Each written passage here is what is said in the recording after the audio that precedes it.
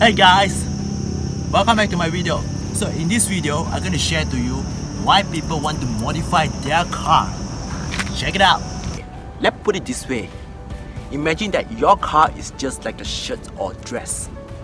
And what happens if you wear the same shirts or the dress and you go up and bump into someone else that wearing the same shirt as you or same dress as you?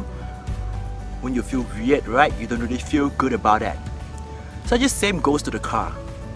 So let's say everyone drives the same Toyota Vios on the roads. Everyone look the same.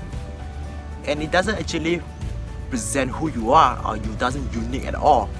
And that's why people actually want to modify their car. Car is just like your shirt or your dress.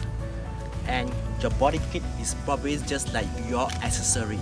Maybe your watch, your bracelet, your necklace, your earrings, and your sport rims is probably just like your sandals or your shoes. Now, I know that not everyone actually care about what they wear, what shirt they wear, what dress they wear, and they don't care about if they bump into someone else that wear exactly the same dress or same shirt or even same car as them. If some people just don't want to be the same as the others. And not everyone actually modifies cars actually are asshole they drive routes on the roads. Most of us actually follow the law. We follow the speed limit, we drive properly, we follow according to the law. So guys, let us know what you guys think about this.